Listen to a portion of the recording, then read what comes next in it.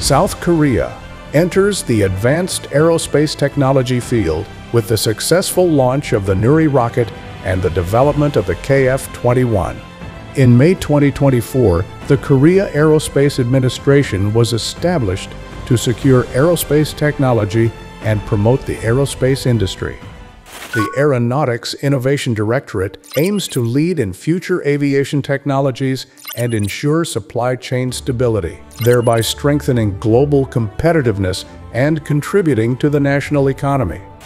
Policy goals of the Aerospace Innovation Directorate of the KASA. Securing a foundation for the aviation industry's leap by 2030. To preoccupying core future technologies in the aviation industry by 2045. 1.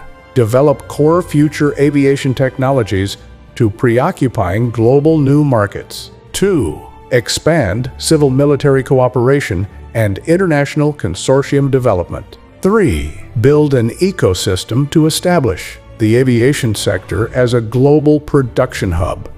The five key strategic initiatives are as follows. Development of advanced air mobility. Hypersonic system.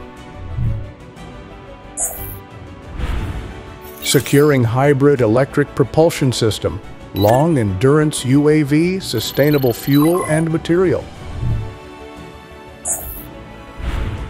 Research on AI-based autonomous, manned and unmanned teaming, multifunctional drone technologies. Localization of core material, component, equipment, and enhancing gas turbine engine technologies. Establishment testing, evaluation, production infrastructure, and development of digital twin technologies. The Aviation Innovation Directorate will serve as the control tower for national aviation R&D and strategic institution for the new era.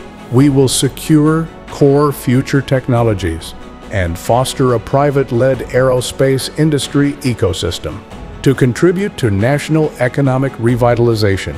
Additionally, we will expand international consortiums with leading global aviation countries and collaborate worldwide based on technology and innovation to open a new era together